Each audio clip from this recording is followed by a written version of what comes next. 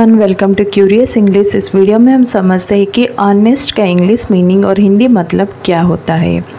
इसका English meaning है serious and zealous in intention purpose और एफर्ट आप ऐसे समझ सकते हैं जो दृढ़ निश्चय वाले होते हैं, उन्हें ऑनेस्ट कहा जाता है। इसका हिंदी में मतलब होता है ईमानदार, जोशीला ऊंचाई या गंभीर। उदाहरण में और अच्छे से समझते हैं।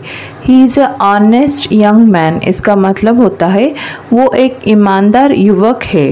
ऑनेस्ट का मतलब होता है ईमानदार, जोशीला ऊंचाई या गंभीर। ऐसे वीडियो देखने के लिए चैनल को लाइक, शेयर और सब्सक्राइब कीजिए। इस वीडियो में बस इतना ही। धन्यवाद।